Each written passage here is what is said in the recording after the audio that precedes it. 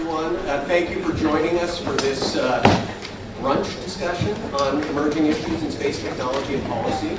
Uh, for those of you I don't know, I'm Jamie Morin with the Center for Space Policy and Strategy at Aerospace. We're really delighted to have uh, so many folks come out and join us today. Today is an extraordinarily busy space day on Capitol Hill, as uh, many of you who are part of that extended community know, with uh, events all over the schedule today. So we appreciate folks joining us.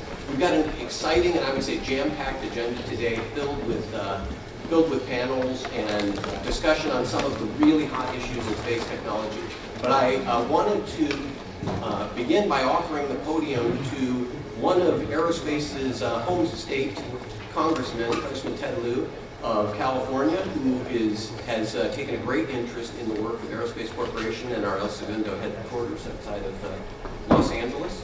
So we are delighted to have the congressman here. He is a uh, strong supporter of the aerospace industry, one of the founders of the California Aerospace Caucus, for example.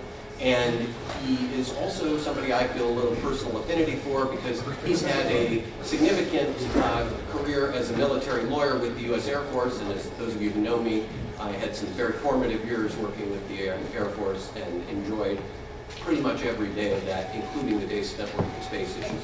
So if I can, uh, Congressman, we're really grateful to have you here with us today.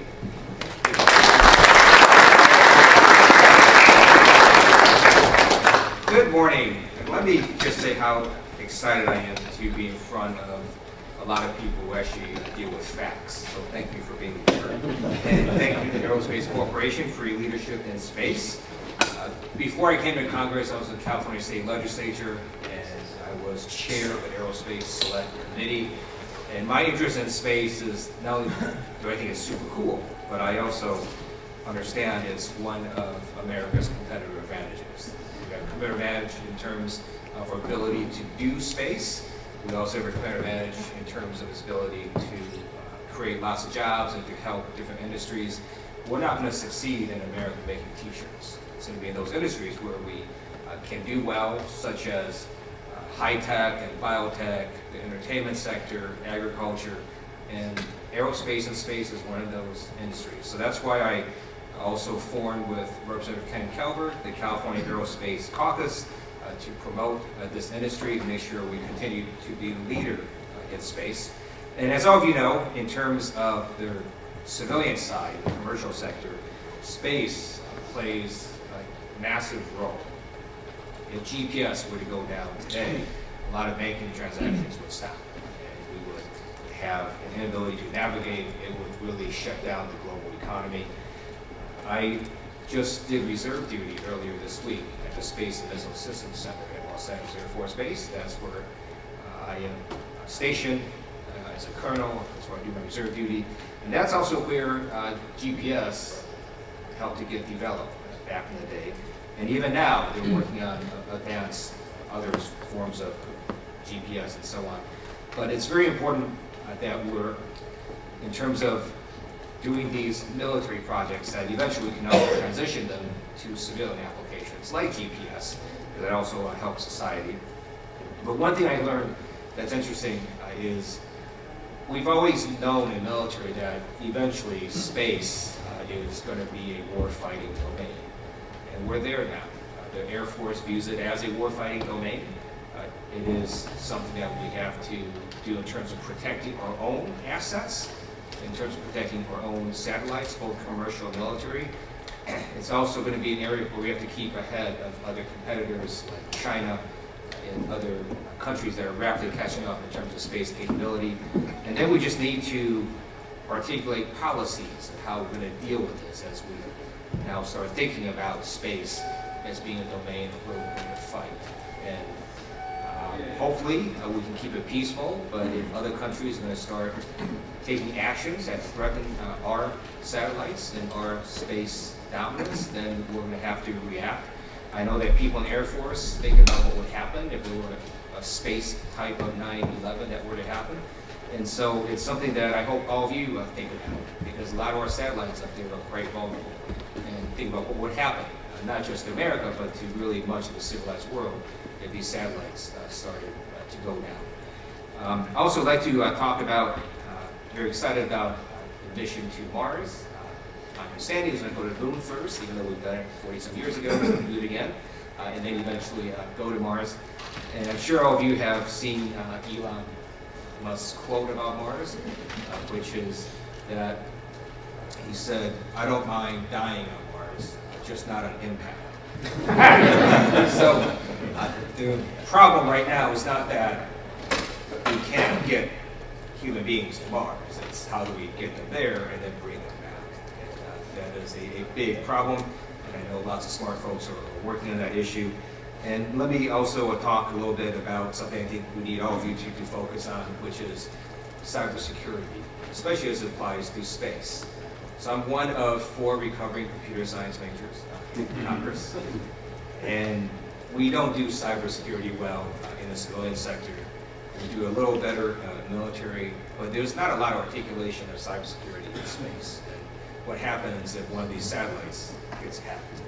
And how do we make sure we have appropriate defenses and also offensive capability to try to do this to other countries that may do it to us? So I think we need to start thinking about uh, how we can approach that issue and have policies and resources dealing with cybersecurity in space. And then we're going to have to deal also with artificial intelligence. I'm part of the, of the AI caucus, and eventually we're going to have, because it's just much more efficient, artificial intelligence do a lot of the controlling of our space assets and, and reacting to things that happen.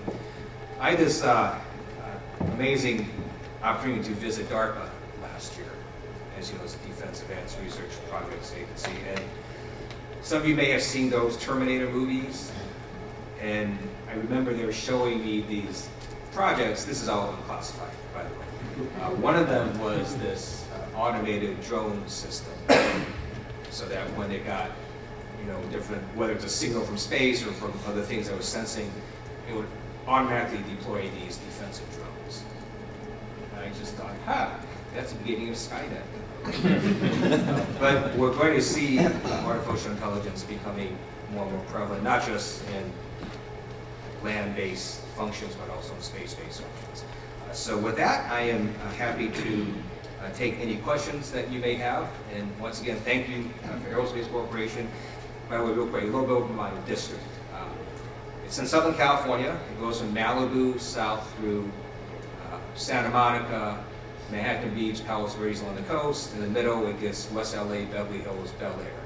So I have uh, the least angry district in America. Uh, But also, uh, we've got enormous aerospace assets there. I hope you come and visit. We also have uh, an accelerator, Starburst, Starburst, which is designed to be an accelerator for aerospace startups. So with that, thank you for inviting me here and happy to answer a a few questions if anyone has any.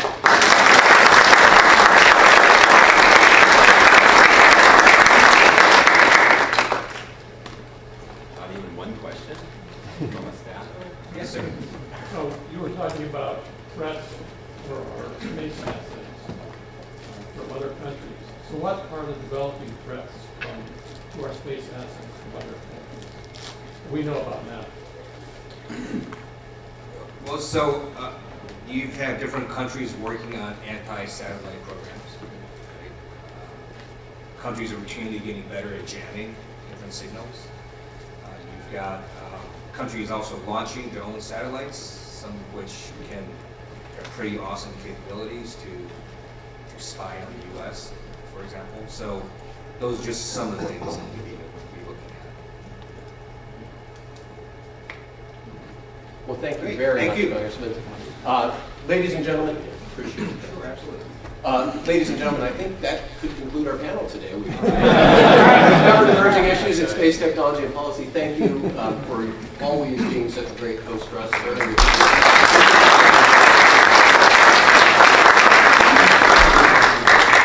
Speaking of great hosting, I did also want to extend a special thanks to the uh, chairman and staff of the House Science Committee who who were gracious enough to accommodate us in their hearing room. Um, I suppose I should say something like open the hearing room doors, but uh, based on our AI. The, we have a, we have two panels today, and I'm, I want to get to them very quickly. The- We're going to have a panel focused on launch, and we're going to have a panel focused on space situational awareness and space traffic management. These are two areas of emerging space technology and policy that are really pretty exciting and where uh, Congress has had an enormous level of interest, and that's why we're highlighting these two. But I wanted to make clear, this is, there is much more than just these two topics going on in space technology and policy today. And we believe uh, that today's conversation is one of many conversations that we need to have that is well informed by the science, by the technology, by the economics, and by the policy uh, that are all coming together in a dynamic space environment. I have just a couple slides I wanted to display briefly to sort of set the scenes beyond launch and space traffic management. Um, we know there is a great deal of change underway right now in the regulatory and policy environment for space. Uh, still in early days, but a succession of announcements have been made. We recently, last, uh, just late last month, saw the release of the second administration space policy directive, which set out some broad general objectives for how the administration is going to approach regulations related to commercial space. Um, you see them up there. They addressed a series of specific topics, some, some very hot ones, but they also very consciously left a whole series of topics unaddressed, some of which we expect will be addressed later this summer and into the fall, but others of which I think require continued engagement and involvement.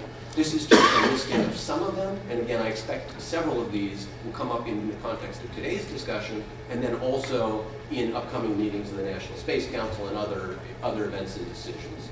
But important steps being taken to adapt to the changes that have been going on for the last decade or more in the space world, many of which have to do with core technological and economic changes that are enabling business models that were hard to conceive of a decade or two ago. Uh, we try to conceptualize at the Center for Space Policy and Strategy the art of the possible in space as reflecting the intersection between that which is technically feasible, this is an area that Aerospace Corporation spends a lot of time working on, both understanding and advancing the art of the technically possible, but also that which is economically viable from a business model perspective or from a government willingness to devote resources, and then a policy acceptable acceptability threshold. And all three of those are in constant motion right now. They're adapting and they're changing one another. Technology is advancing, it's advancing in part because we're making conscious decisions to invest. And this complex interplay is really a difficult place for policymakers to operate, including legislative branch. So we're, we're, we're focused on trying through events like this to help people think their way through it from a non-advocate perspective, because as many of you know, aerospace is a federally funded research and development center. We run a federally funded research and development center, which means we're chartered in the public interest, we're nonprofit, and we're not in the business of selling anything. Some of our good colleagues here are, and that's a wonderful thing. Um, we like to bring together people who have a variety of interests and equities in order to have a, a forthright conversation so that we can get to better informed policy without pushing specific solutions. So that's a context overview. We're going to drill down today on two specific topics, STM and um, launch in reverse order. But fundamentally in both areas, we are dealing with a contrast between different concepts of government's role in space. We know that from an international legal and domestic legal perspective, um, government has a preeminent role in space, right? Space activities must be licensed by, by the nation that's, who's, who's responsible for them, whether they're commercial or not. Um, the Outer Space Treaty has been clear on that for a couple generations now. The government's role will not go away. The traditional model of a um, tug of war that you saw between regulator and regulated is really not often the right way to think about space. We have national interests in being competitive, as you heard the congressman say, and more often than not, it's a symbiotic relationship that we can foster as opposed to a conflictual one. So I hope we'll hear quite a bit about that today. I want to start by introducing our first panel, which is moderated by uh, Major General Retired Ed Bolton, a senior member of the aerospace team, our senior vice president for Defense Systems Group. Uh, General Bolton uh, a, spent a long career in the Air Force, including some really important roles in space launch, and also uh, a role where I got to know him when he was working on budget issues. So he understands the, the fiscal piece of this as well. He went on to work with the FAA and the Department of Energy in senior executive roles, and has been with aerospace for a few years now leading our interface with the senior levels of the department. Of Defense. General Bolton, can you uh, do the honors with your panel, and I will hand the uh, microphone over to you. Thank you, sir. Thank you.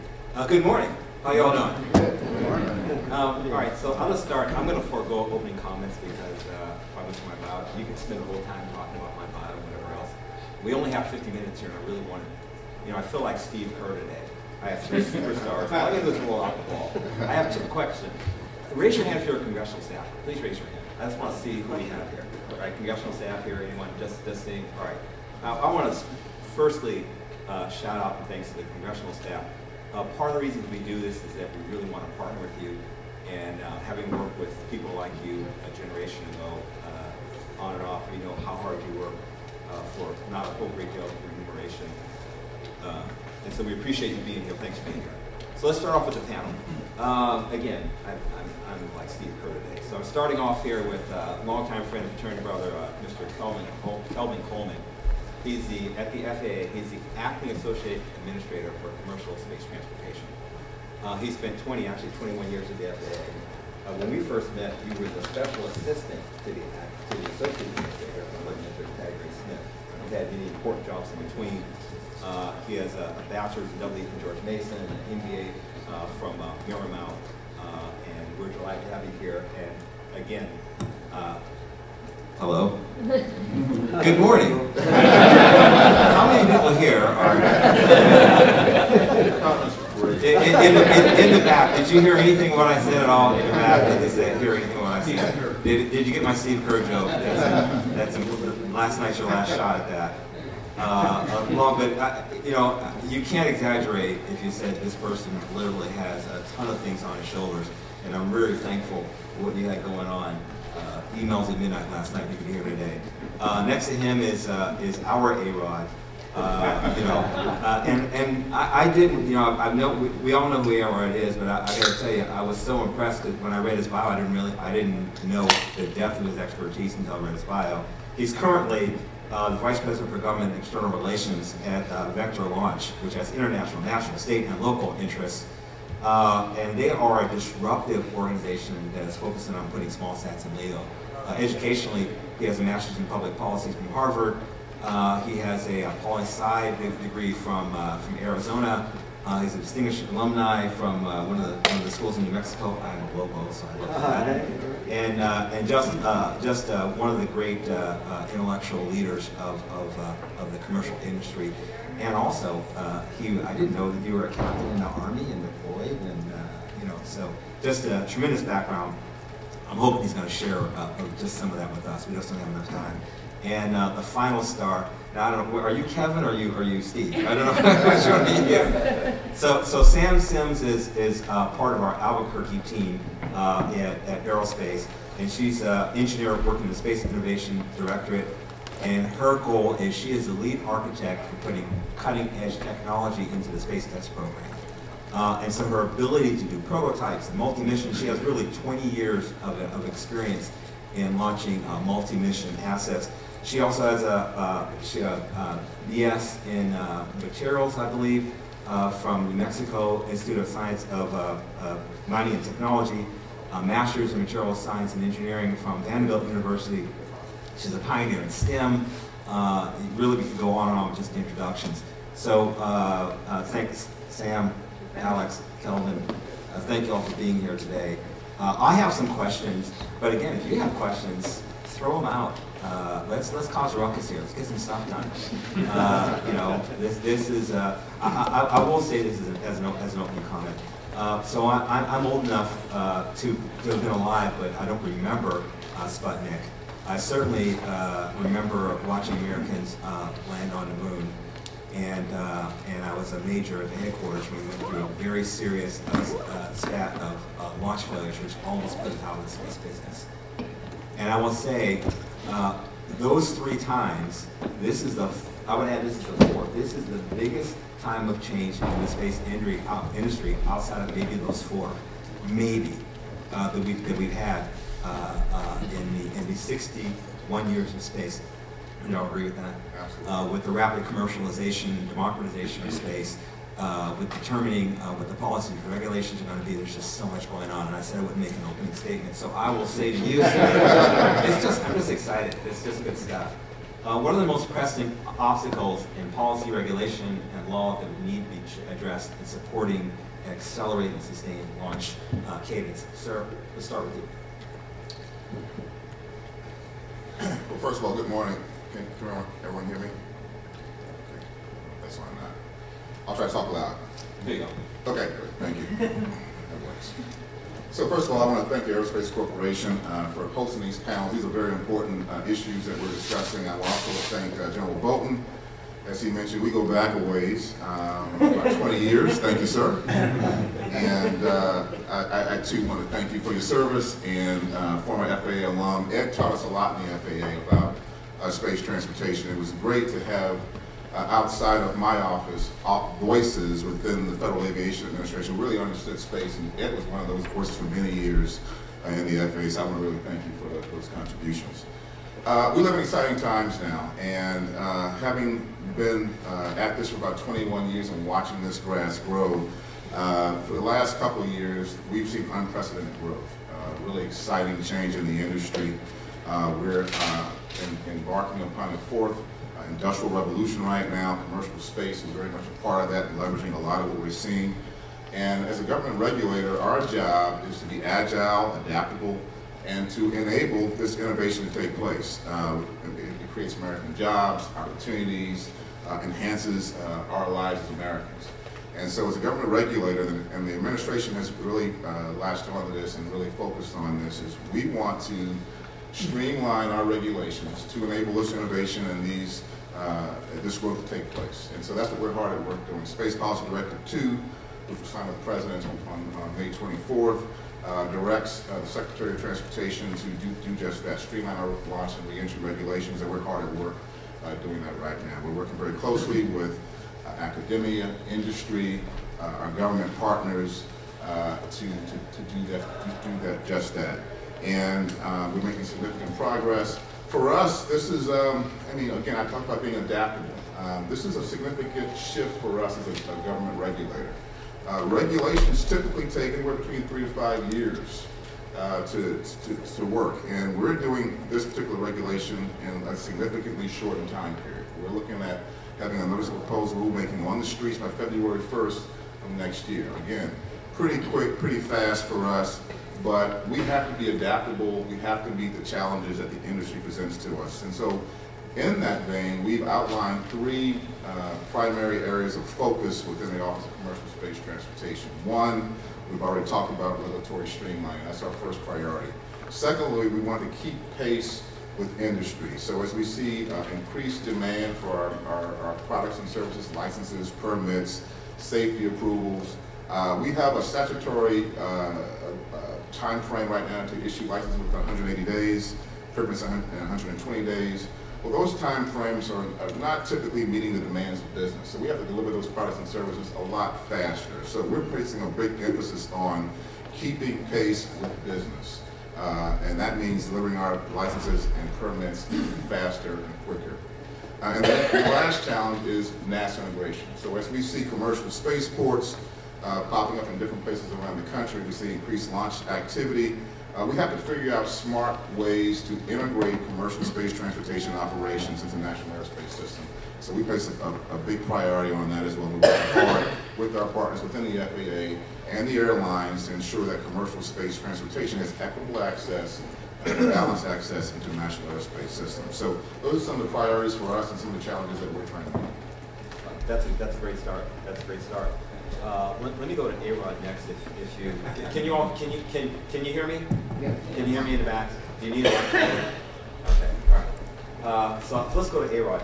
So I'm, I'm very, I'm very interested uh, in this, uh, in this transformation as we're focused on uh, much of space is going to be commercial, right? If you look at the, if you look at the launch tempo for launch bases, that's projected in about five years. We expect to have about 120 launches. If you look at everybody who has, who's put plans in place, that all, that all actually happens. So what do you see as the most pressing challenges to get to the kind of launch rates that we need to, to do what we need to do uh, from a commercial perspective? Sure, uh, General, uh, first of all, thank you for your service to our nation. Um, And uh, we we definitely have a couple points uh, to share uh, specifically. First of all, uh, I want to say thank you to the Center for Space Policy, the Aerospace Corporation, for this exciting uh, forum on emerging issues in space technology and policy. Certainly uh, will impact uh, the American economy, as uh, the Congressman said earlier. Uh, It's a privilege for Vector to be with all of you this morning. We appreciate your time very much. And also a shout out to other private sector companies that are in the room here. We appreciate the the vibrancy of the ecosystem. Uh, Just a tad bit about Vector for those of you who are not familiar. Uh, Vector Launch Incorporated um, uh, started uh, just over two years ago with a very simple mission uh, to send microsatellites into orbit into low Earth orbit in particular. So we are an access to space company that's positioned to uh, really help capitalize uh, what is being forecasted as a trillion dollar economy in the out years. Uh, As some of you are aware, in 2017, the uh, space value chain, the global e- economy for space uh, was at about $345 billion. And uh, so it's mushrooming out in the out years. That's an opportunity for all of us. If you look at it from a global perspective, it's about America taking uh, a greater market share of that trillion dollar forecast. Uh, So we're very, very excited about that. Um, Our company is uh, headquartered in Tucson, Arizona. We have facilities in California uh, as well. And uh, so we're focused on launching up to 150 kilograms to orbit. We are, think about the, the rocket as one of the, actually, we believe it's the smallest rocket in the commercial market today. Uh, Our Vector Rapid vehicle will send uh, 65 kilograms uh, to low Earth orbit. Uh, We have a second vehicle, our Vector Heavy vehicle, will launch 150 kilograms into low Earth orbit. So we're targeting the niche market, the, the low end of the spectrum, if you will, capitalizing on what's already been said here. Uh, The trends and market drivers in terms of miniaturization, uh, removing cost out of the equation, both for satellite hardware as well as for the launch business itself. Uh, So it's a big challenge, uh, but we certainly are up to it. Um, There's growing market demand, as you all know, out there. And uh, one of the unique features uh, about the cadence that we anticipate is uh, being able to have a rapid launch rate, a rapid uh, capacity to be able to fill that demand. For example, last year in 2017, we know, we know that there were satellites that could have been, should have been, but did not get into orbit. And that's a fundamental problem. Uh, They uh, didn't have uh, the, the, the access that they needed when they needed. So uh, we are uh, attempting to disrupt the launch market to fulfill the transformation and the disruption happening in the satellite sector in the first place. Uh, And of course, that's the enabler, General, to all the other industry sectors. So I do want to get to your two points uh, um, that, uh, that can help uh, certainly in working with our, our partners and colleagues from the FAA. Uh, We are very honored to uh, be with Mr. Coleman today. Uh, Our team has been working effectively day and night virtually for, for the last few months for our first license to, to be able to launch successfully into orbit. Uh, So I'll pause there, but uh, I can't tell you how excited uh, we are to see a, a real unique convergence, a convergence of action and leadership coming out of this very room, um, leadership from our members of Congress, leadership from the agencies, uh, FAA, AST, uh, making necessary adjustments and steps to really beat that 180-day uh, timeline that they have. And uh, Kelvin, I'm ecstatic to hear that, by the way, because uh, that's certainly what would keep pace with us in the out years is a uh, launch, uh, a launch cadence that would be uh, multiple times, even a a week. Uh, So overall, we have a unique opportunity, as I indicated before, it's a once in a generation moment to really leverage technology, this convergence, and risk capital coming to the table to uh, make uh, companies like ours viable in the first place. So, so that's helpful, and I think I want to go with that protocol. I think, uh, given the, uh, what these guests have to offer, maybe I'll come to you, Sam, and say, do you want to have some opening comments you want to make? Uh, I, I have a question, but you don't have to address the opening comments. And, uh, you know, I mean, obviously, it's part of, part of our team. I I would be, I think it'd be very interesting to understand what you have done in the space test program to solve some of the problems uh, that they, they have not solved in getting things out processed and launched rapidly. But I'll defer to any opening comments you want to make on any topic. All right, is this on? I hope so. Not even that mine. Um, so like Ed said, I have been with aerospace for over 20 years. Um, all of it has been in Albuquerque supporting the DoD Space Test Program. That program is the DoD's office to get space R&D payloads access to space.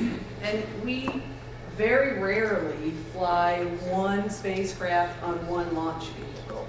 It is almost always multiple spacecraft coming from multiple different organizations.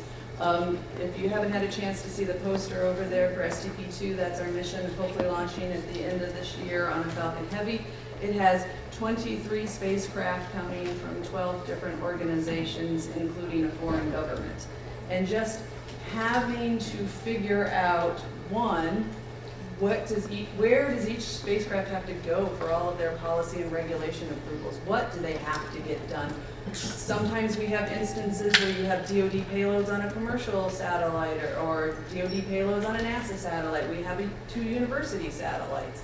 You know, trying to figure out, navigate the policy roadmap is very hard to figure out who needs what and where they have to go. And then additionally, we tend to have timelines that are very short. From start to finish, in three years, we'll get something launched.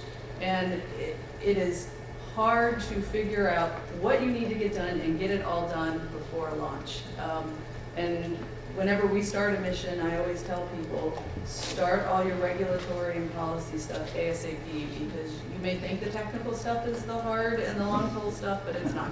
The paperwork is all of the long and hard stuff. and I, I was very glad to hear everything you said. Do you want an opportunity to rebut that, or, uh, uh, Mr. Coleman? And are there any burning questions in the audience? Is there someone, sir? This does go to the space test issue. Gordon Roesler, uh, formerly of DARPA, just retired a month ago. And we have, we have worked together on, on a space test launch. There will be one that satellite, not 23, a, a very large spacecraft with robot arms on it.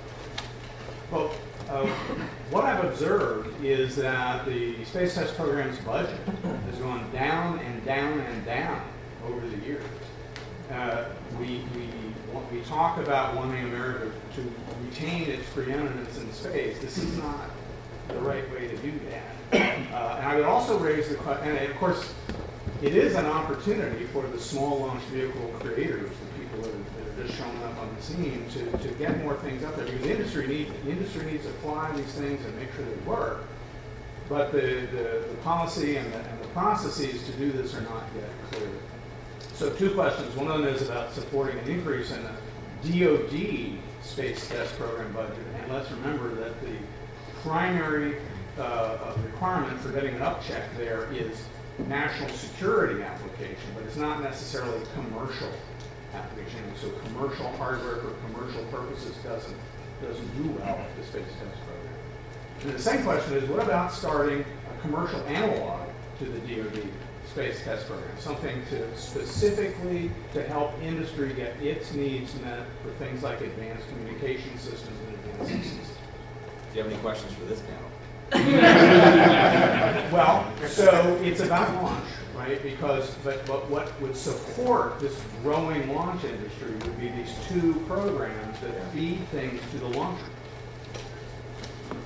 I mean, sure, more money, I'm, I'm in. I mean, you And I will say STP last year did get a congressional plus up for fifteen million dollars specifically to go out and purchase venture class launch vehicles. Yeah, I, I think those are great ideas. Uh, I- it'd be hard to argue against that. Um, The, the other people have burning questions. Uh, Sir? Uh, This is for Mr. Coleman. Sorry. I Um, was for- just thinking him.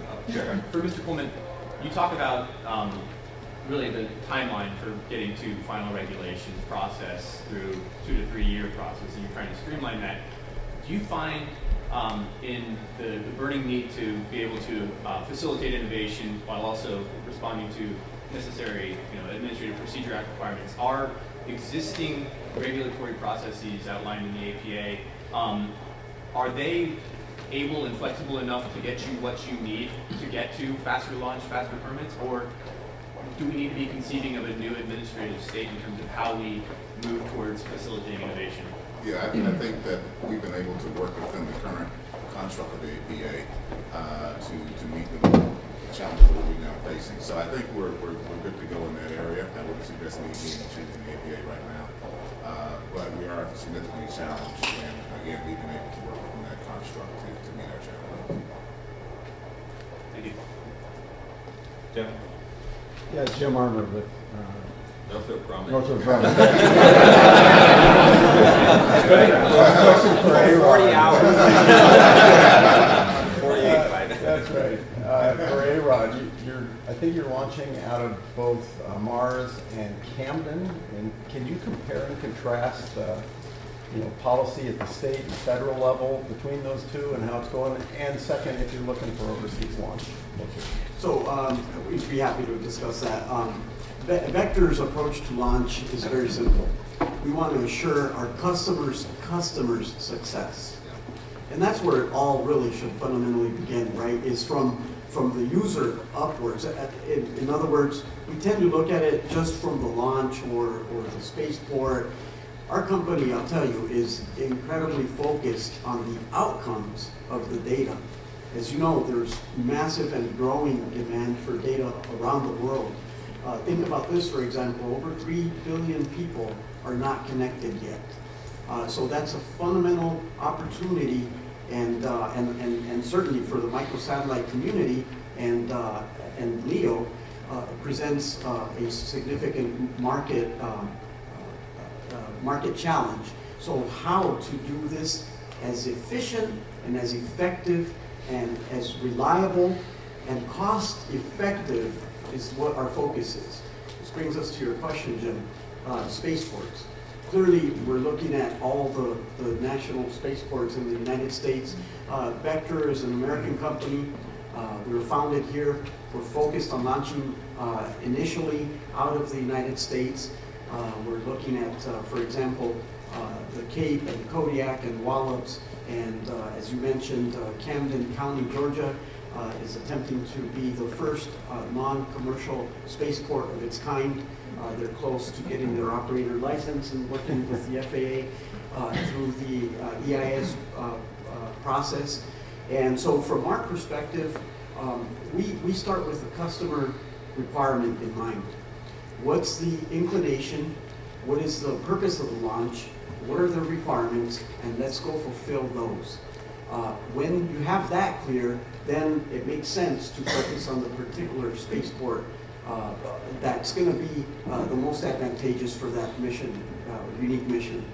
Uh, so, uh, you know, we see unique advantages for each of the spaceports based on their location, their unique attributes. There's definitely some distinctions among the space spaceports themselves. Uh, but uh, uh, fortunately, we have options as well, and we're working hard to uh, establish strong re- uh, partner relationships with all the space spaceports here in the United States. Courtney. Uh, Courtney Stadd with Vector Launch. Um, For Kelvin and perhaps even Sam, the DARPA, reminded me before, Yeah. colleagues just announced the- the DARPA challenge.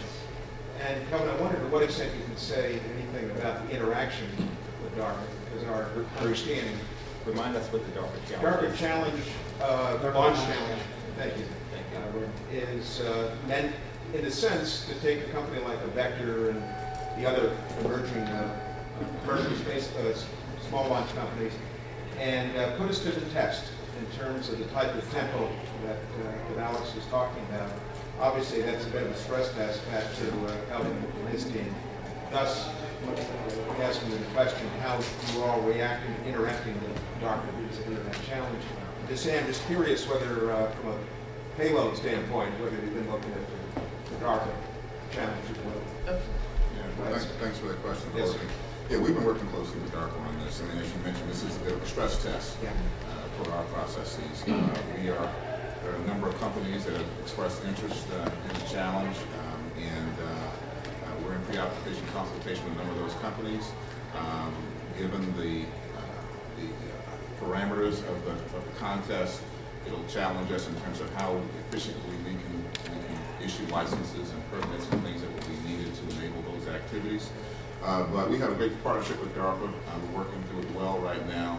Um, and hopefully we'll find out some new and innovative ways to do things that will enable the future that we're talking about here. So, so we're eyes and ears open, uh, and maybe there'll be some learning on our part in terms of what we can do to be more efficient uh, and more expeditious going forward in the future. But we're working very closely with that forward. So currently, um, I'm not aware that we're working with DARPA on the launch challenge.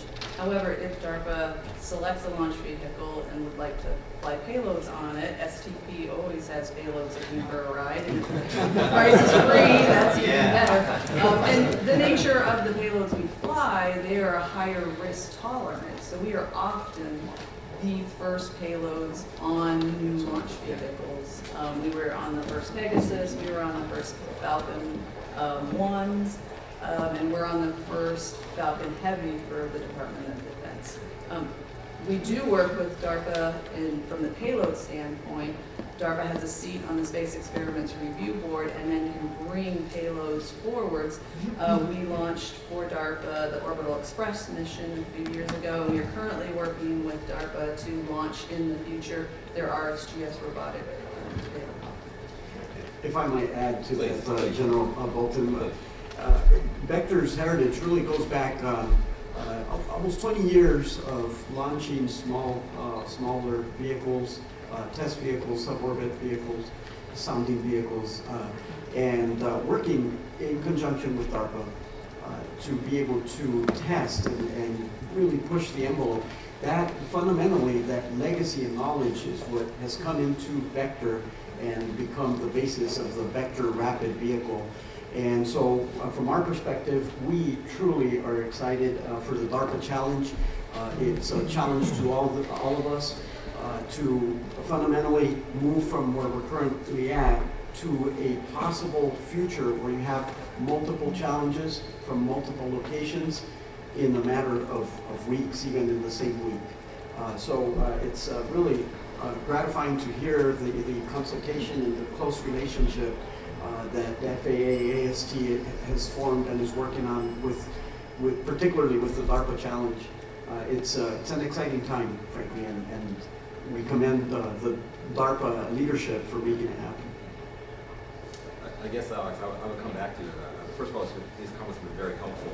I, I, I certainly, so if you think about the future uh, of, a, of a significantly uh, advanced uh, launch rate, uh, I'm hearing multi-mission, uh, I'm hearing multi-location, I'm hearing there are some policy answers.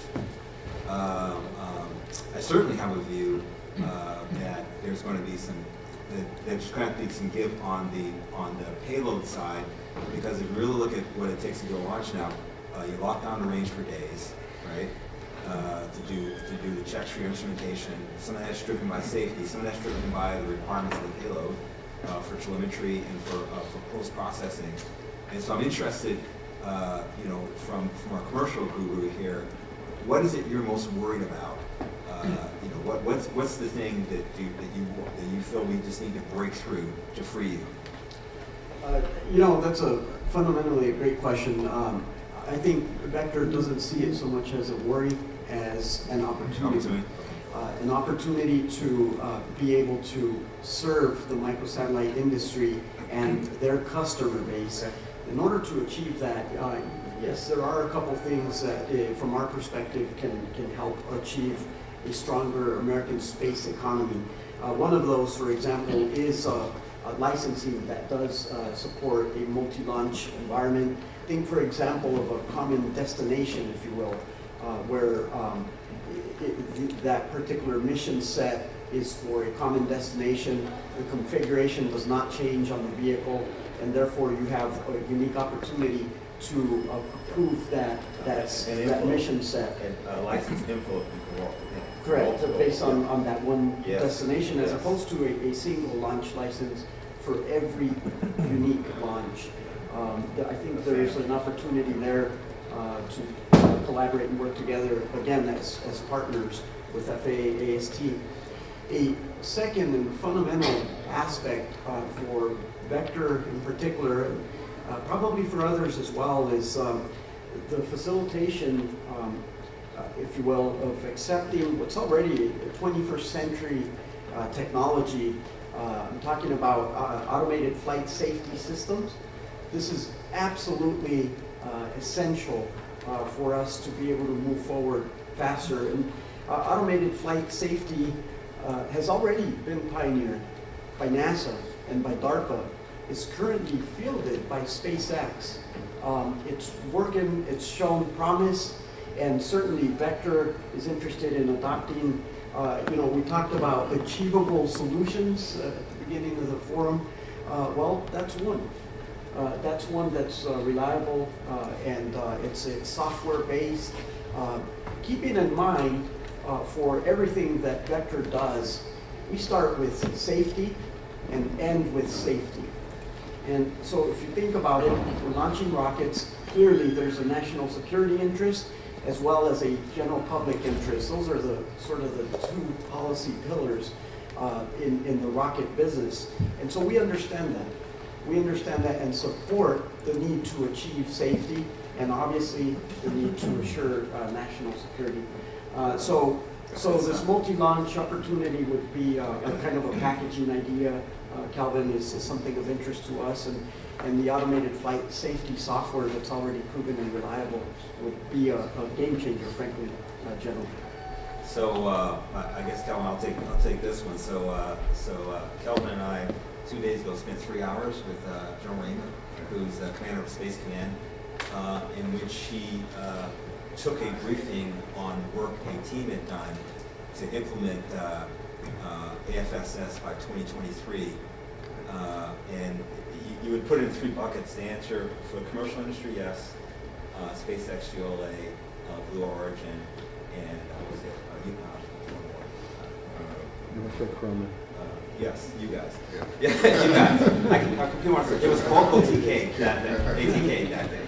That was two days ago. So the answer, it was, the answer for commercial is yes, the answer for government space lift, uh, and that's SMC, NRO, and NASA HLS.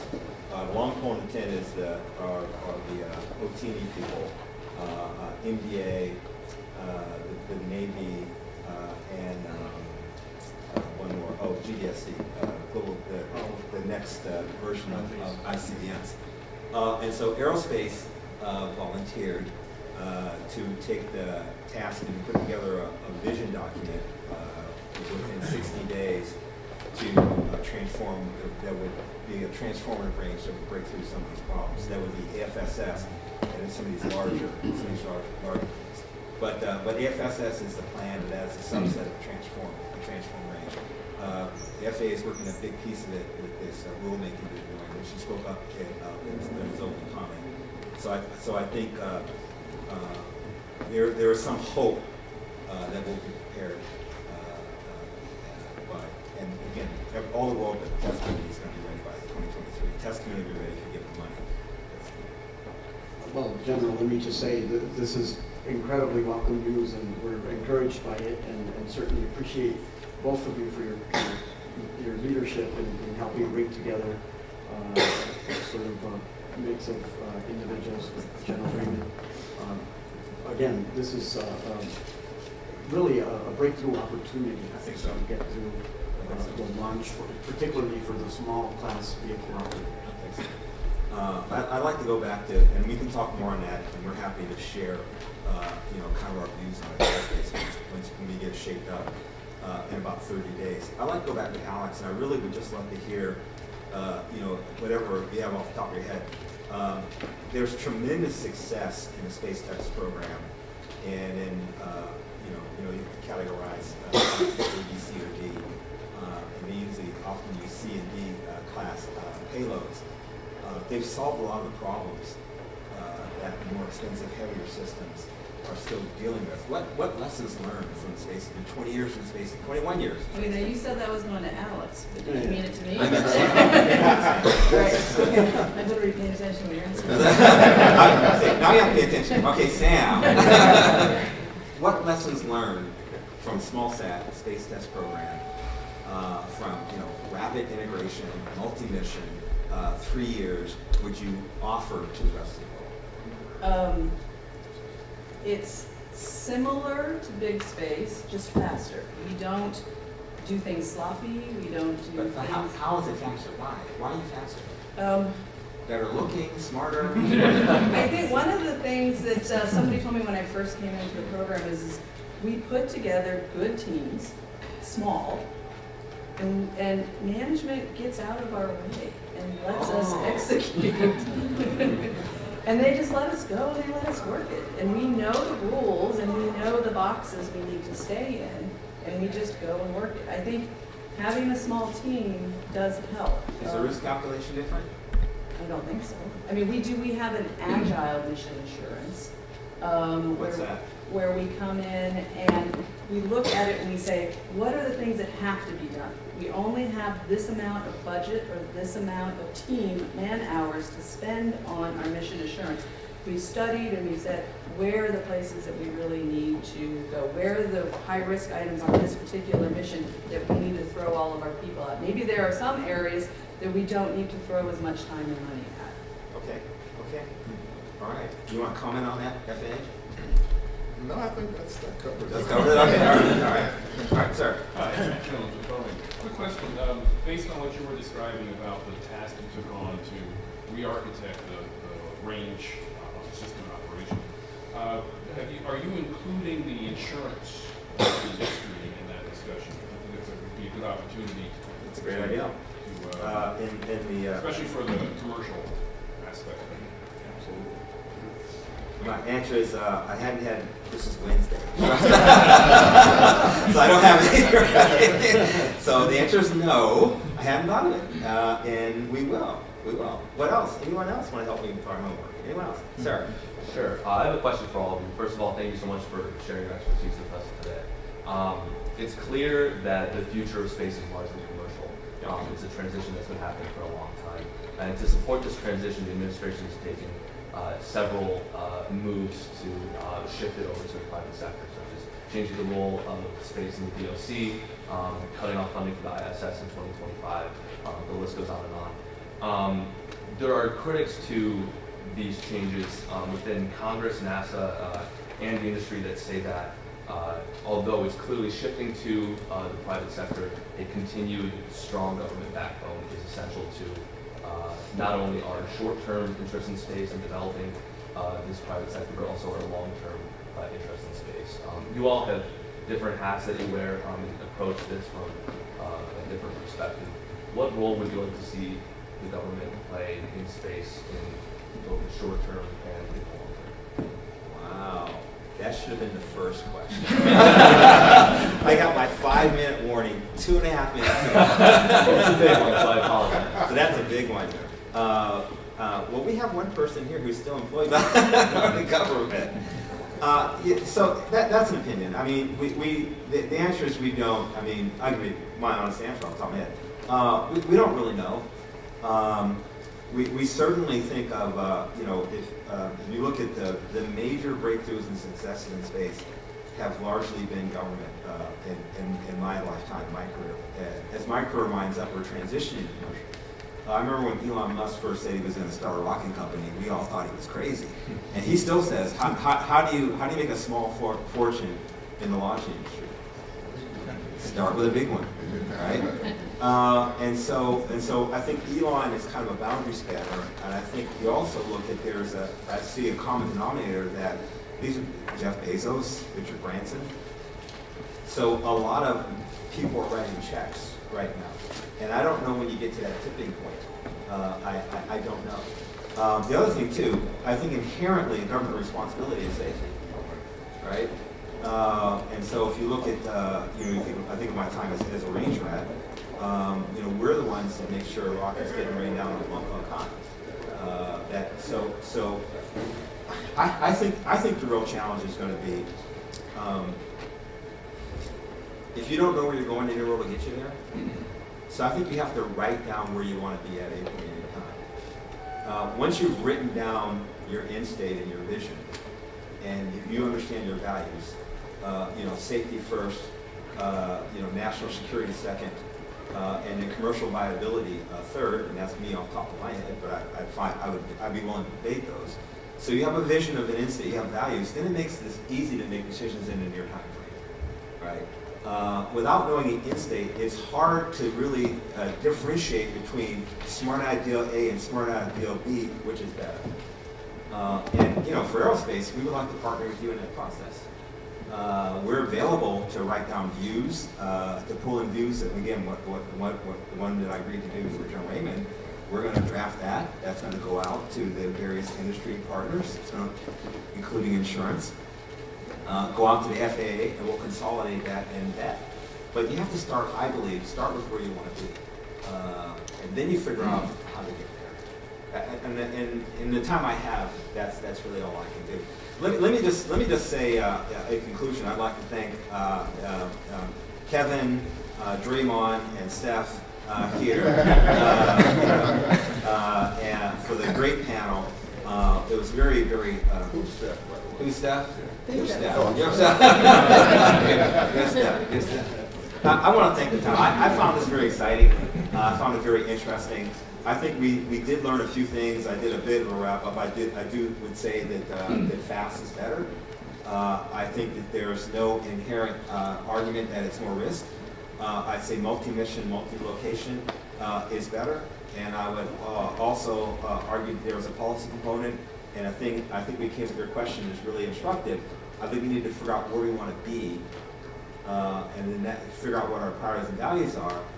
From that, you can determine what the appropriate government role is, and really free. Because frankly, I think the next wave of growth is going to be commercial. I get that. I, I totally get that. I'm totally with it. Uh, but we're but we're two launch failures away from all that going away. Right? Yeah, I remember six failures in 18 months. Uh, no one was talking about commercial. They're talking about can we get there at all. And so we need to be in a position so that when things, and there will be launch failures in the future, I promise you. We want to be in a position that our plan still looks good after we've had a couple of launch failures.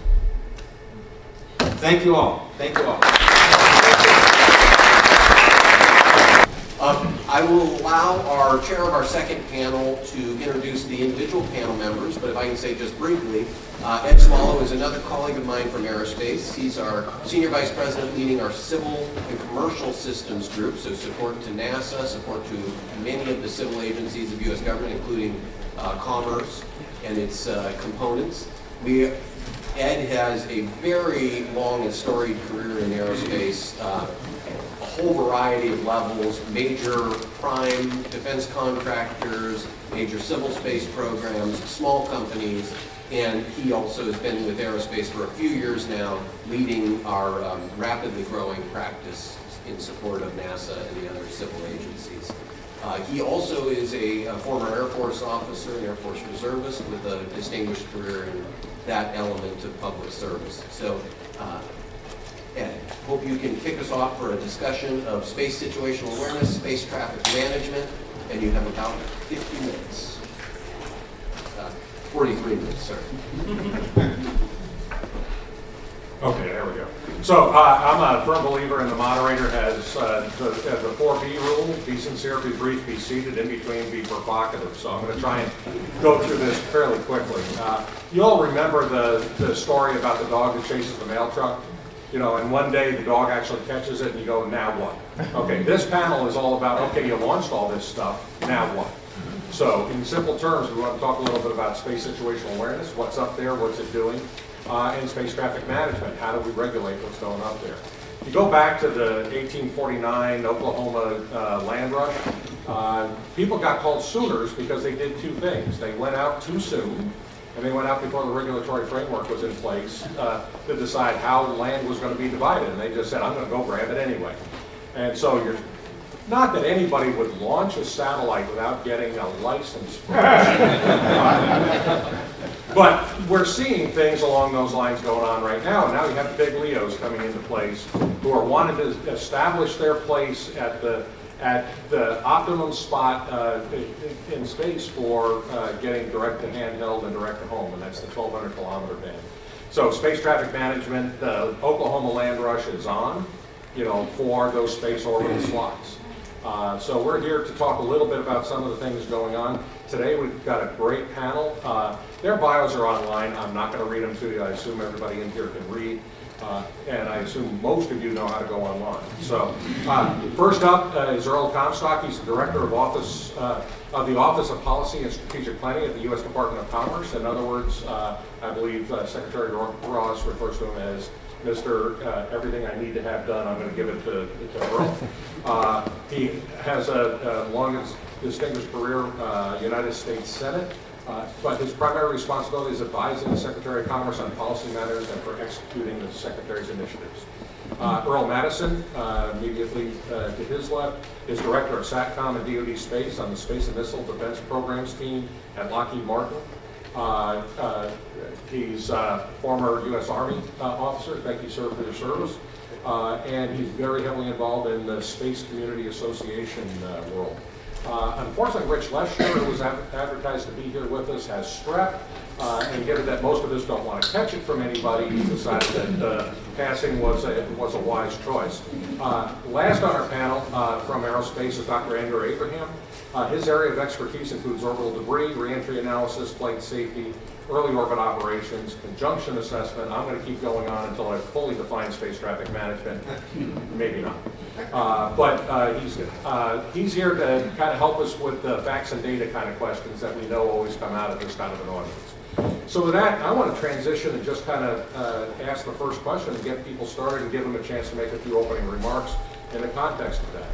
Uh, Vice President Pence at the Space Symposium and a lot of other places, people have talked about, uh, but not yet addressed in a specific uh, uh, space policy directive, is space situational awareness and space traffic management.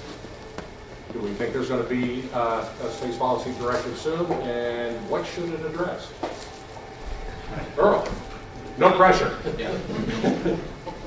well, thank you for that nice introduction, and it's a pleasure to be here speaking to all of you. Uh, you know, obviously, the Department of Commerce is very excited about taking on this new role. Uh, we have for a long time had a Office of Space Commerce, and obviously we do commercial remote sensing. So we've got experience in that as well as operating a large constellation of satellites ourselves uh, with the help of a lot of our, our fellow agencies. So uh, this is an area that Secretary Ross is uh, very focused on. He's really looking forward to expanding the department's role. And as I think Ed outlined, you know, with people going ahead and staking things out, we want to get to um, the Homestead Act as quickly as we possibly can. So uh, this administration, I think, is putting an incredible amount of resources toward trying to really advance the ball. And, and our, our, key goal, if you had to sum it up in, in a short phrase, for commercial space is to make sure that we're the flag of choice for companies going forward. Um, it's going to be critical uh, not only for American uh, economic development, but for national security and other reasons to really help uh, encourage and make sure that companies want to come here, want to get licensed by the United States, and want to uh, base their operations here before doing that. So uh, the Department of Commerce is very focused on making sure that we facilitate that. We're working within the intergovernmental process to streamline everything that we can, but also to try to start laying the groundwork for these new things. And to answer your question, uh, yes, there will be uh, another directive come out at some point uh, when the Space Council approves it, to look at this issue of SSA and STM, as well as uh, the science and tech related to that. So uh, it's a process that we are very focused on, and people are laying the foundation right now trying to have a coherent regime on that. Great, thank you. Earl. I would echo that, uh, yes, there will be a policy. Vice President Pence uh, said that there would be. And uh, some of the things that I think we should consider are, are data sharing, conjunction assessments, uh, indemnification, uh, and, and, the non-disruptive transition as the department uh, takes over. And we look forward to working with the department to make that a success. Great. Andrew. Um, yeah, just a couple comments on that. So, um, you know, Earl mentioned conjunction assessment and data sharing. I just wanted to give you a little more context behind that. So, you know, right now we have uh, some wonderful services provided by the, uh, the government, actually um, by the uh, Department of Defense, um, that uh, share data two-line element sets. Okay, and this data, the thing about it is, it's not the best data that is available. There is data from the owner or operators of the satellites that is just kind of hitting the floor and not being dealt with. And so if we could obtain that much improved data and actually incorporate it into our conjunction screening processes, that would greatly enhance spaceflight safety. Great, thank you. Uh, you can hear me in the back. Uh, uh, the long list of words used to describe me, quiet, has never shown up. Uh, so, uh, what specific emerging technologies related to SSA data and analytics are needed to enable state operations in space? Uh, as was pointed out to me uh, just about a week or so ago, when you're talking about air traffic management, airplanes have six, six degrees of freedom in which to maneuver to avoid a, a conflict.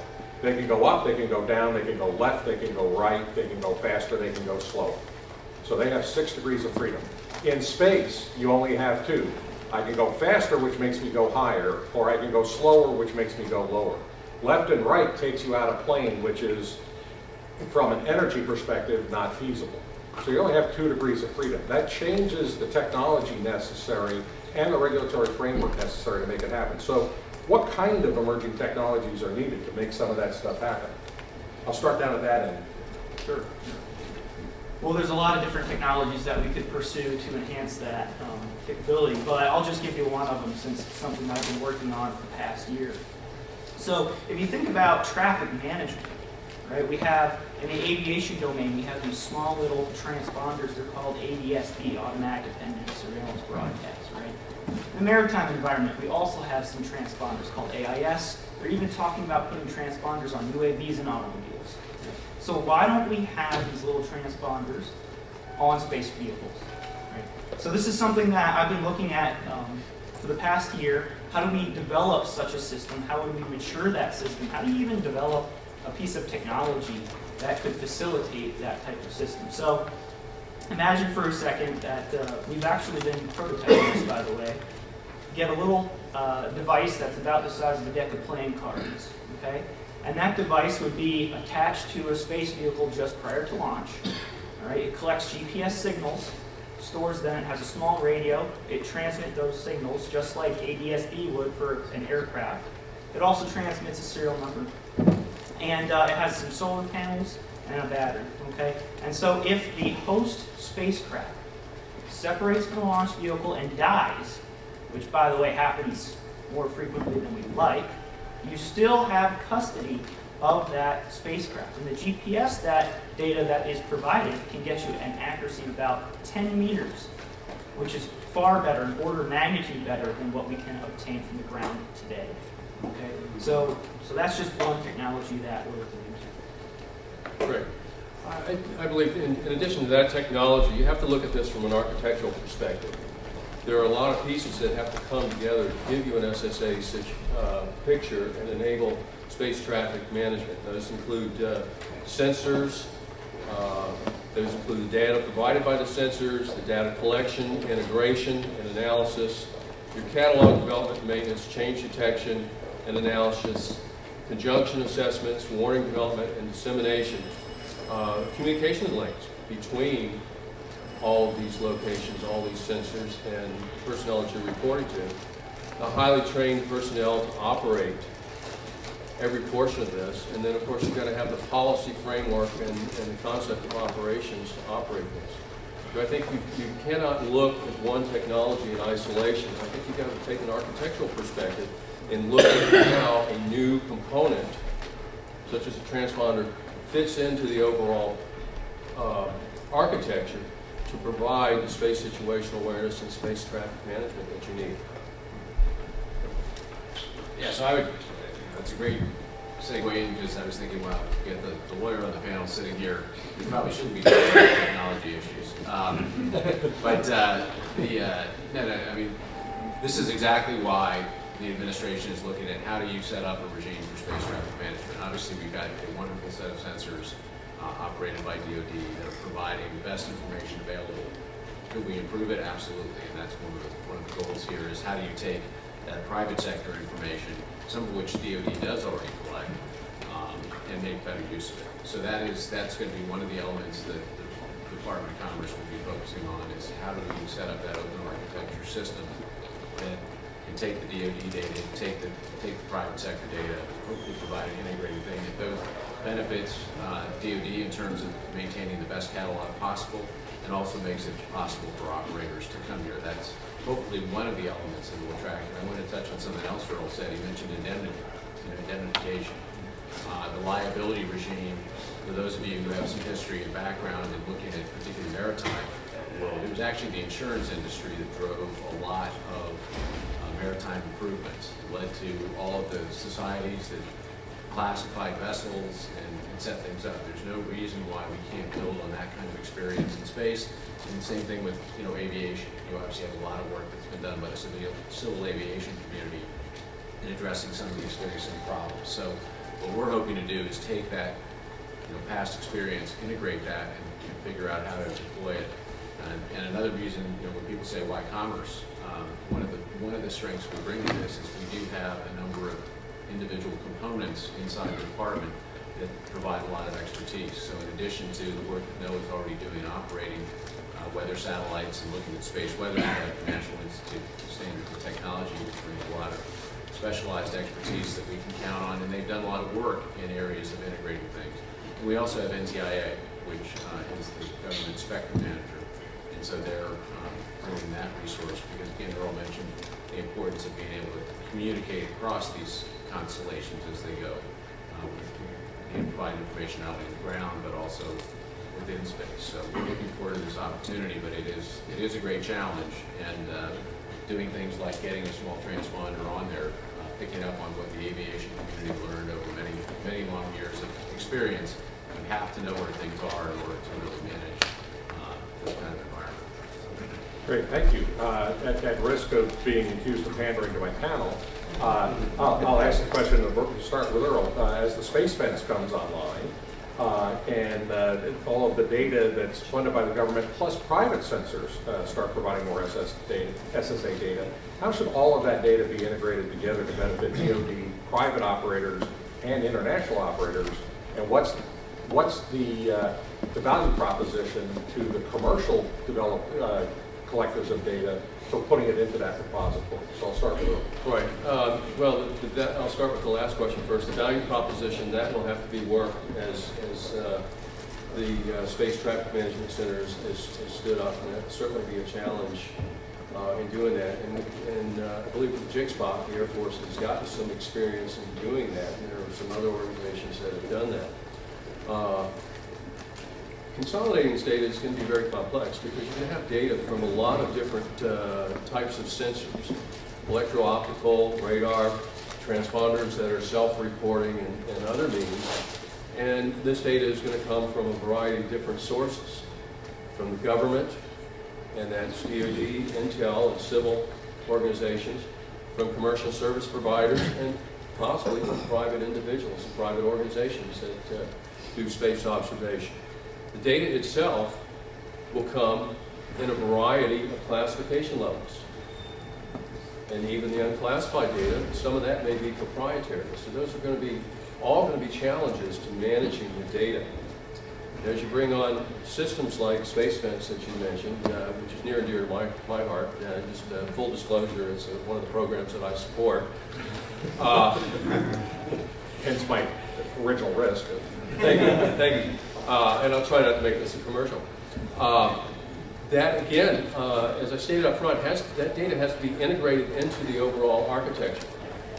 That's a challenge. And some of these newer systems are going to bring in massive amounts of data that needs to be assessed for how precise it is, how accurate it is, how timely, from whatever source that data comes from, consolidated and put into a usable form, often cataloged, and then that data has to be used.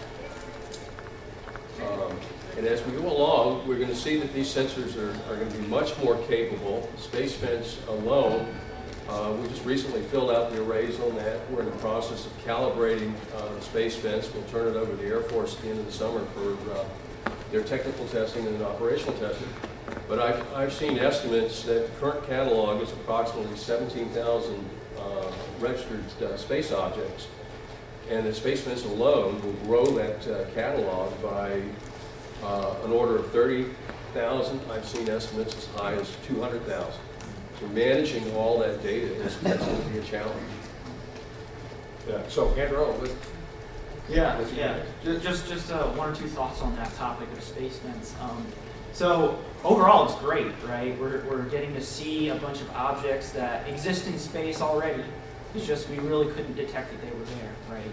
Uh, because the thing about space fence is it can detect objects that are much, much smaller. And there happens to be a whole lot more small objects than there are large objects, right?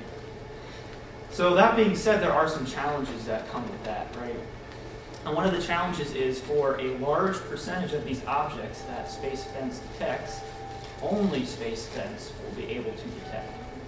And so if you're talking about data quality concerns, you know, every time that we take a measurement, there's always a little bit of uncertainty in that measurement, right? And so if you have something that's very small, that's kind of on the borderline of what Space Fence can detect, there could be a larger amount of uncertainty.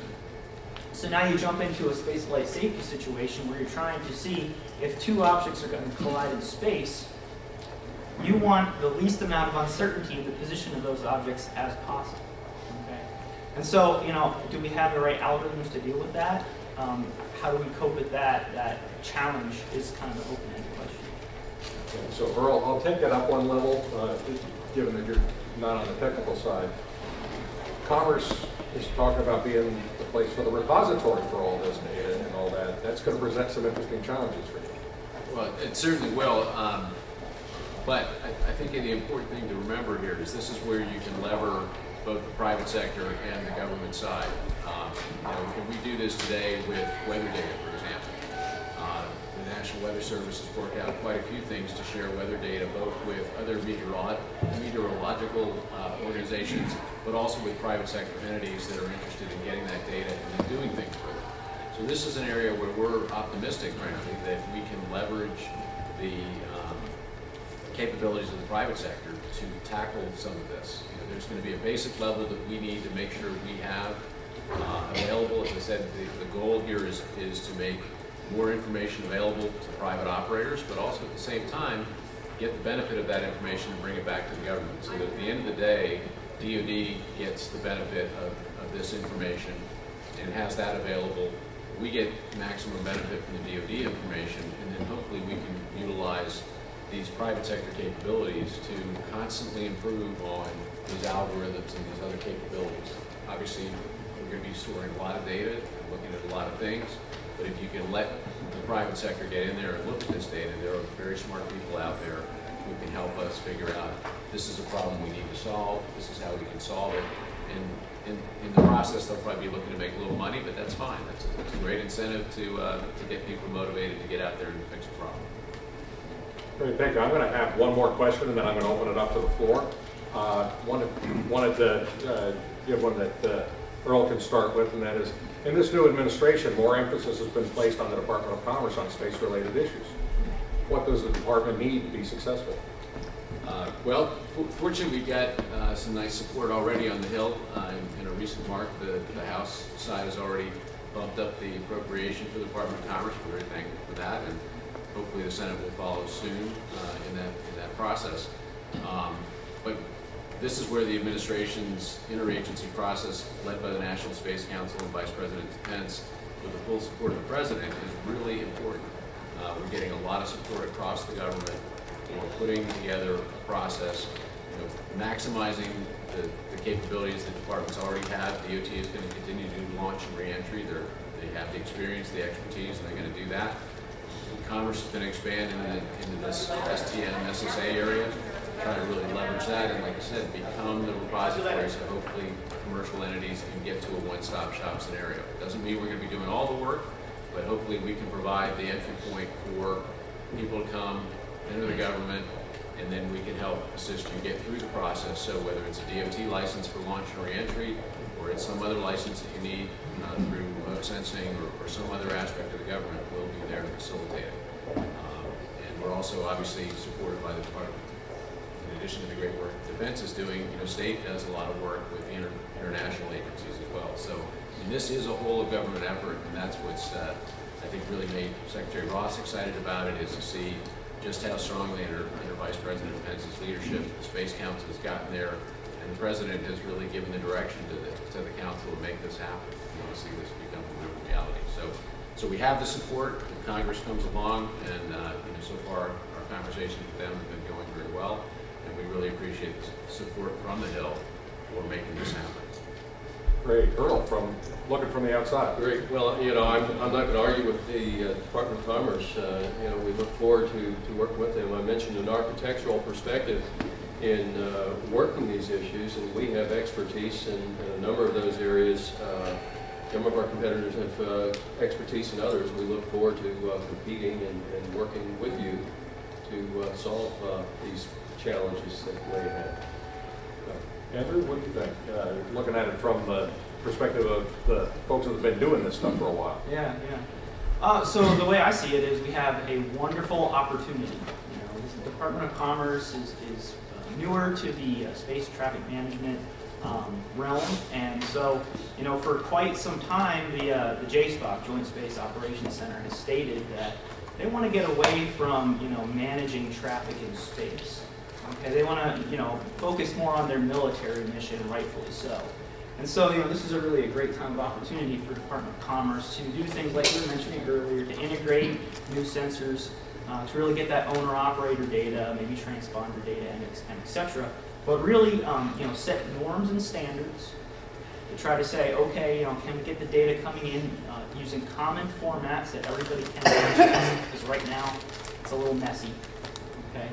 Can we um, then integrate that data such that people's privacy to an extent is protected, you know, but that everybody knows where everybody else is going to be so they can avoid them, avoiding those potential collisions. Great, thank you. So with that, let me open it up. Yeah. Uh, Gordon Roesler, formerly at DARPA. Uh, when Jamie put up his slide, one of the unaddressed areas that he mentioned was non-traditional space activities. And I'll give you an example of, of a non-traditional activity, satellite servicing. So a satellite, let's say with robotics on it, goes over to inspect or to repair or upgrade another satellite. Now these are much closer together than the ground-based sensors are going to be able to separate meters. Um, so it's going to be a small fraction of the number of, of objects that are up there. This, this business, you know, even if there's five or six of those, compare this to the thousands of satellites that are being launched in these new constellations. But it is a space traffic management issue. So I just wanted to hear the panel having any thoughts at all on, on how you would you know, create policies and processes for, for managing these really non-traditional, exciting from a commercial point of view and, and from a defense point of view, but, but difficult and, and odd sorts of, of processes. Well, you outlined a good scenario, and that is one of the areas that, that obviously Congress is going to be looking at. A couple of couple of basic observations. Obviously, the company that's doing that is going to have to part of their their program is going to be figuring out how do you manage those two uh, objects in close proximity to each other. So we'll leave that to them.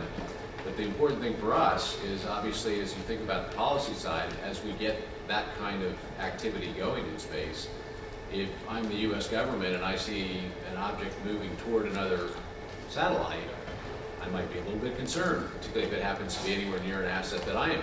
And I think the guy, you know, Earl sitting next to me is, is uh, this is one of his key concerns. So this is where having a forum, having a, a, a government entity that can take that kind of data, be aware of those kind of operations, will deconflict a lot of things. And that's, that's one of the objectives here is to help facilitate that set, as uh, I think Andrew was mentioning, set up the, the best practices and the other things so that people are communicating about these kinds of activities. Otherwise, these things will never get off the ground. And I would point out, in terms of communicating and collaborating, the DARPA-led effort called CONFERS that I think I just wanted to Oh, go ahead. I just wanted to follow up with that comment. Um, so, you know, the, the thing about RPO is, as you mentioned, actually, you know, when two objects get very, very close together, it's very difficult to identify which one object is object A and which one is object B. And did you actually get them mixed up as they connected or crossed, right? That's called cross-tagging, okay? And so this is where, you know, integrating this unique data really becomes valuable. Because, you know, if we had data coming from the owner-operator or for, from my transponder, which gives you unique serial numbers, right, then you couldn't confuse object A for object B. And, and not only does that have a lot of uh, implications for commercial and flight safety, but it also has national security implications. I think both Earl and Andrew highlighted that this is going to drive increasing demands on SSA capabilities in order to, to monitor these. Uh, you file a plan, you've got a policy, but in execution, does this vehicle actually follow its plan? And which orbits is it going to cross during, during this maneuver? Oh, uh, right now, we don't maintain uh, real-time custody, permanent custody of objects in space now. This is, this is going to become a huge challenge as we've got things that are, that are doing close operations, doing rendezvous, and not colliding with the object, and you've got cross-tagging that Andrew mentioned. So it's, it's going to it's going to levy a huge challenge to the SSA and the capabilities of SSA. As he mentioned, uh, very few sensors have the capability to distinguish between objects that are, that are very close. Uh, that may be a, a need that we have in order to enable more of these operations. Yeah, and uh, I'll just add, you know, earlier you brought up a really good point earlier that I think applies here. In the maritime domain, people figured out, you know, how to use signal hostile versus non-hostile intent when a when a boat approached another boat. You know, going back to the days of sail. Uh, but even now, that same analog was taken. You know, when a when a fighter jet intercepts somebody coming into your airspace, there's a set of protocols that everybody's agreed to. These are the rules of the road. So it, it's a matter of taking those same protocols the next step. It's not a, it's not as odd a case as people may think. So next Courtney. Um, First of all, I want to say, uh, Earl, your, your boss, Secretary Ross, um, his enthusiasm for this business is infectious. And I think I speak for many of us who had the honor of interacting with him. He's become quite a student uh, of the industry, so it's a reflection on you and James back there and the members of the team. This administration has attempted uh, to privatize air traffic control. So I wonder, uh, and you've heard from Earl and Andrew, the complexity, a lot of steep learning. Any thought to, in terms of public-private partnership, what type of governance model this might evolve into over time? Well, that's, I mean, you raise a great point, and that's obviously something we'll be exploring further. I, you know, there, there, I think there will be opportunities for public-private partnerships in this. You know, there are going to be certain core governmental functions that, that people are going to want to keep. I mean, obviously, DoD has, has its role, and um, you know, that's one thing I'd like to say up at, at the get-go is that they have been fantastic in terms of helping uh, the Department of Commerce understand what's involved here, what, what we need to do. So they've been tremendous in supporting this, and like I say, just across the government effort is fantastic here. But we are looking at public-private partnerships. We're going to be, I think, looking at a number of different models as to how that works. I don't think any decision's been made as to it's going to be all public-private partnership or it's going to be something else, but that is definitely in the mix. Thank you. I think the evolution is, is, is key. You said it's going to be an evolution and that it's going to drive ongoing requirements. As we look at this from an architecture, it's, it's going to drive changes across the architecture to respond. And then, of course, the policy, concepts of operations are going to have to adjust uh, as we evolve this process. Give me a question back there. Thank you. Um, Sandra Erwin with Space News. The uh, NDAA, uh, the House version, has a provision that says DoD will no longer provide SSA data to commercial and foreign entities after 2024.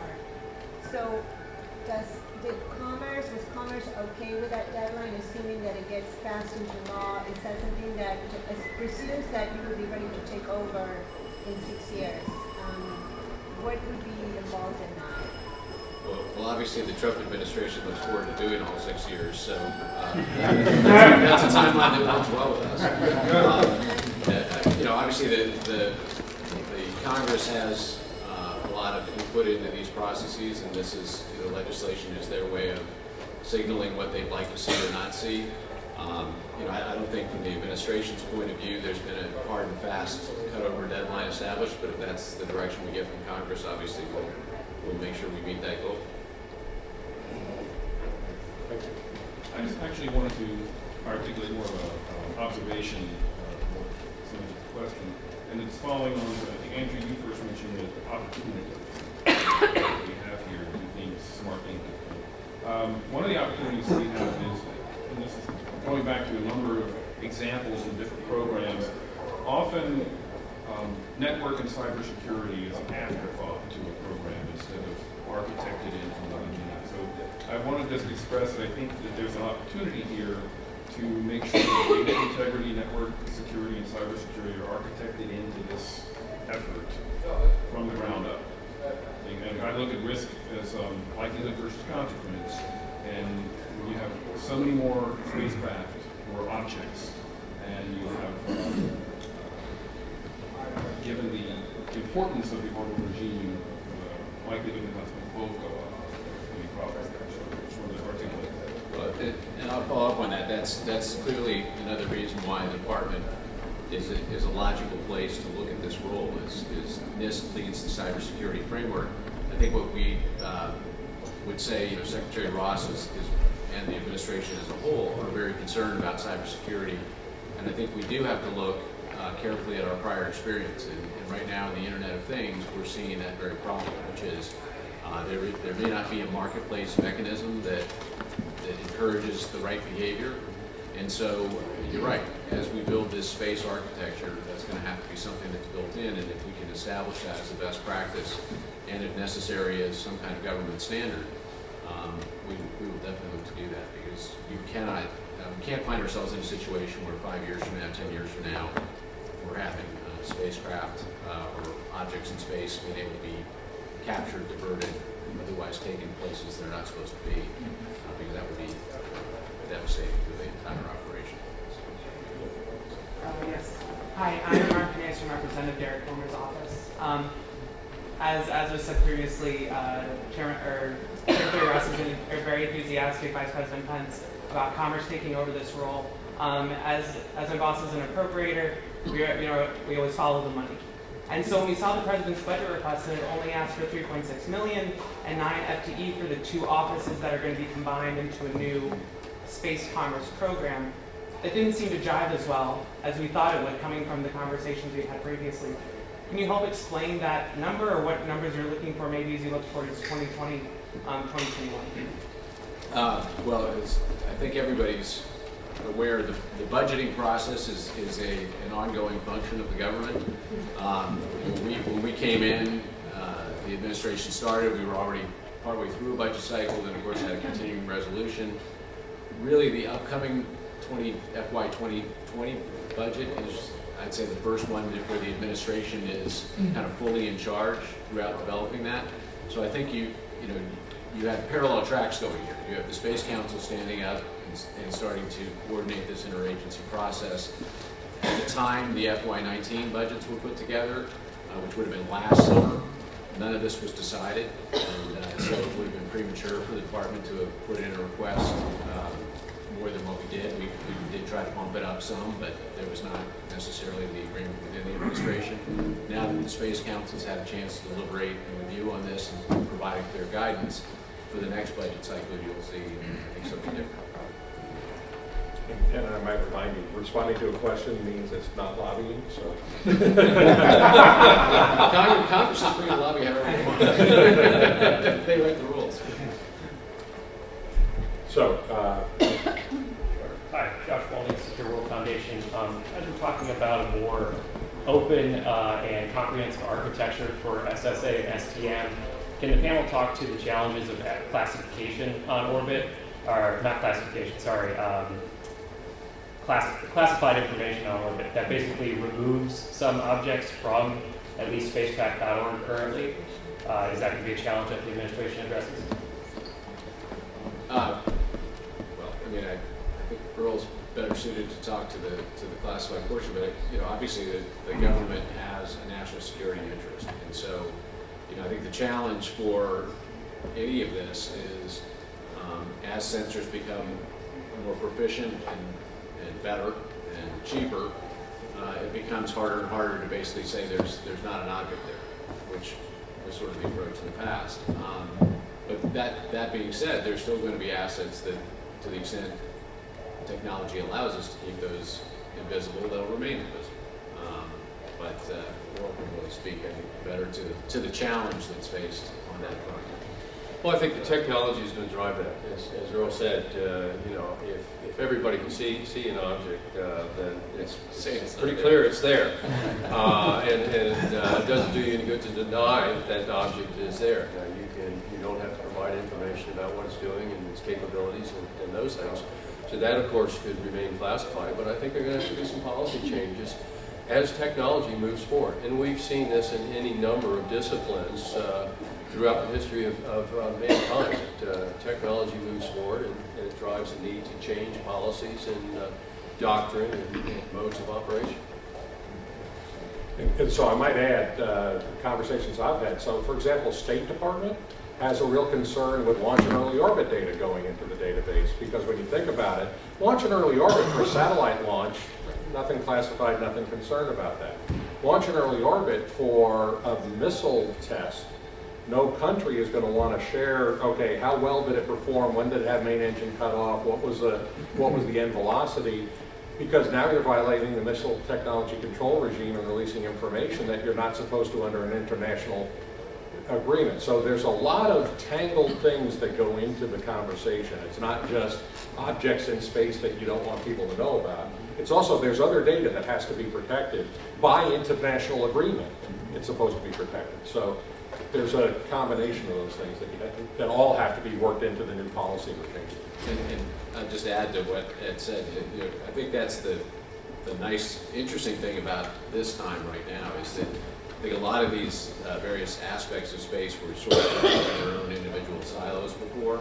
And that's really what the Space Council is trying to, to get past, is we're now at a point where these individual silos can't continue to operate that way.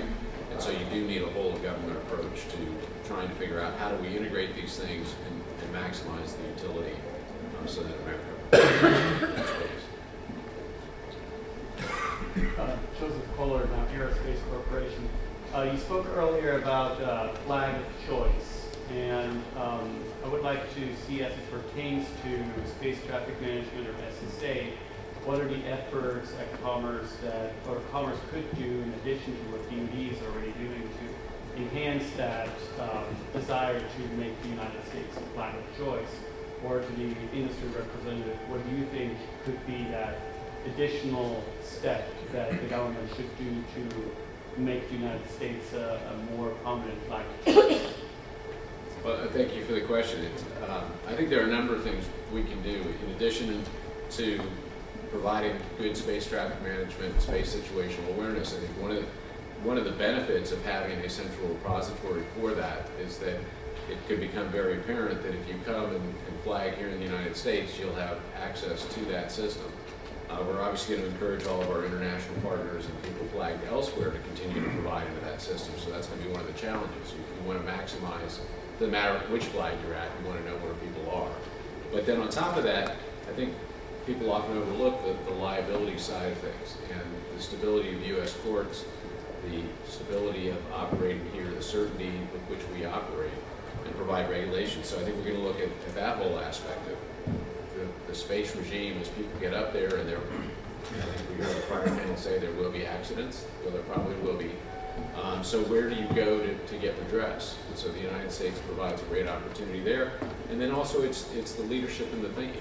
You know, how do we get out there, set standards, and provide this pathway forward? I think if you tie all those things together, uh, we should be a very attractive place for people to come. And that, that's what we're really seeking.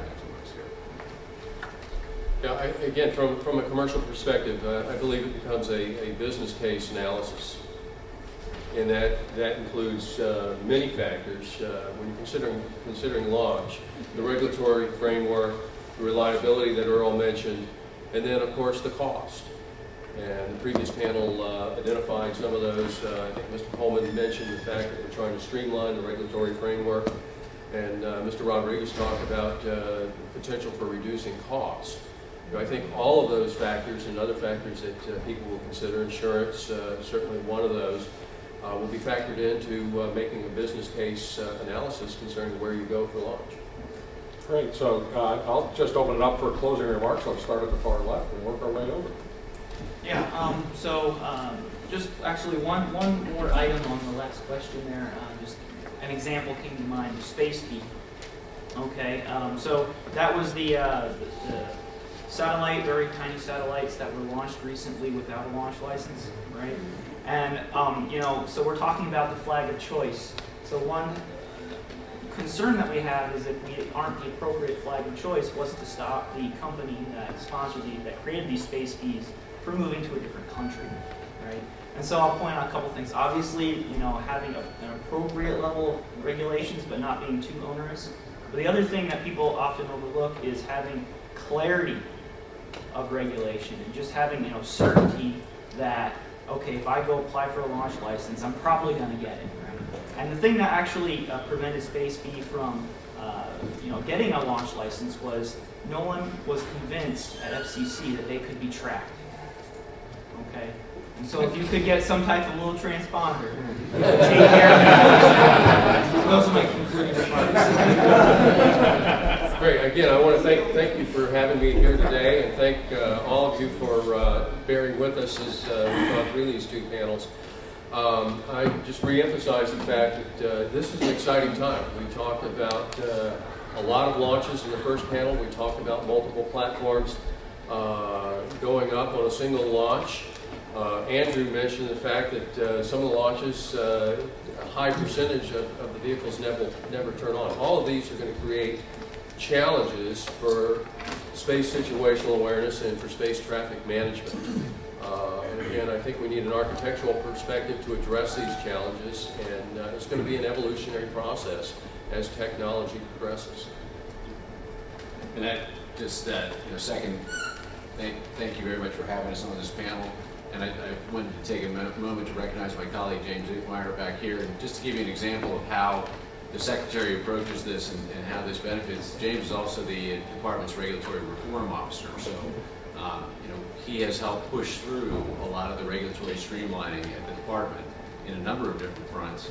And that's exactly the kind of approach you know, that we're going to take. Uh, there was a recent incident uh, where in the uh, Falcon Heavy launch, they, they put a nice shiny red object up there in space, and it had some cameras on it, and people suddenly discovered, whoa, wait a minute, this is a potential violation of the uh, Remote Sensing Act.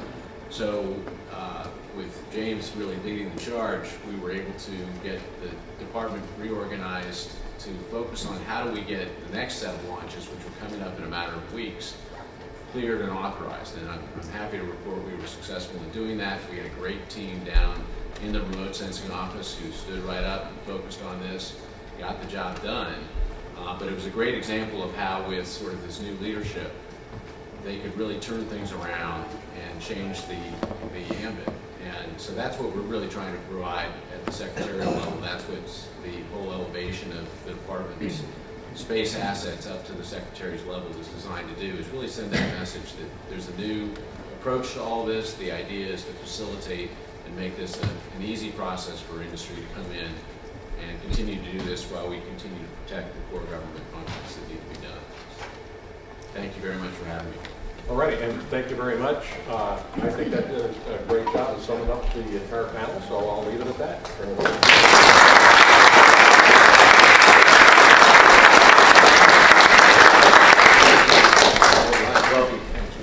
My uh, thanks again to everybody for joining us. A final reminder, there are uh, reports if you'd like to get them on your way out. There may be a handful of sandwiches left if any of our uh, staff friends want to snag some for, how many? Uh, hey, yeah, we have a handful left. If anyone wants to grab them for your office mates on the way out, they will, uh, we would like them beat. Um, thank you all for coming.